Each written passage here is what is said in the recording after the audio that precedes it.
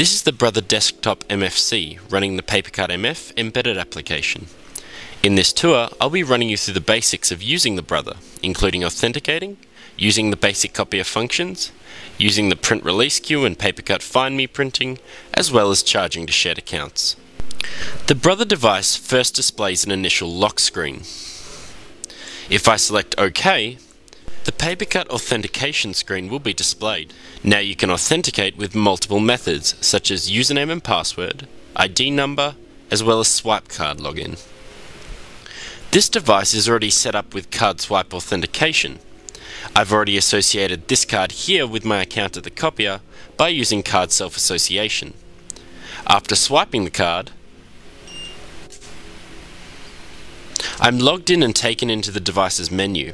All usage of this device will now be tracked and controlled by PaperCut.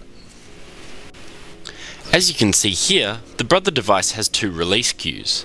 Quick Release, which simply releases all of your held jobs in a queue with the press of a single button.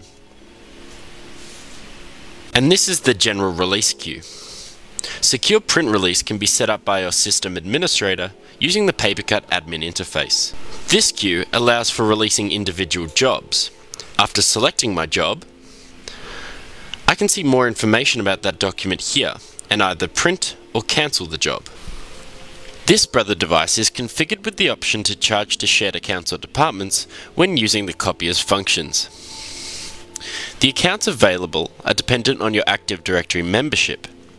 Here I have the option to select from my personal account, or if I open the account list, I can choose from the accounting department, the geography department, or the mathematics department.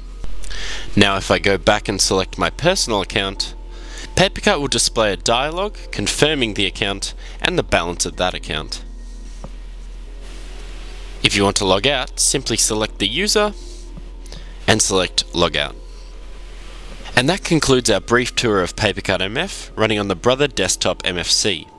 If you're looking for more information about our embedded solutions and other products, please be sure to check our website at www.papercutmf.com.